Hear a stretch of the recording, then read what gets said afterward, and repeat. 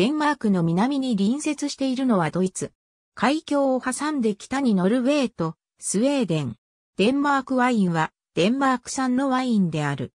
デンマークは北部にあるにもかかわらず、地球温暖化と1999年のワイン生産合法化の効果により21世紀以降、ワイン産業を発展させている。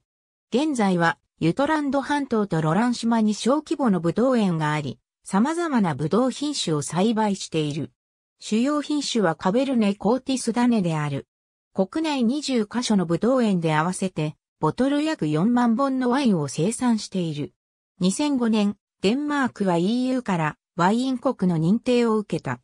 2006年、デンマークワインはデンマーク国内消費が主であるが、フランスなどに輸出もし、デンマークワイン生産者協会は5年間で生産量が4倍になるという見通しを立てていた。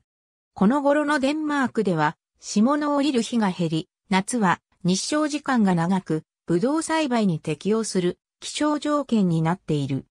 2007年、デンマークワインは結出した結果を獲得し、同年、スケリソガード瓶社が出品した2006年のある、ドンズキュベ発泡ワインが2007年エフェルベサンデューモンドワイン競技会で銀メダルを受賞している。ありがとうございます。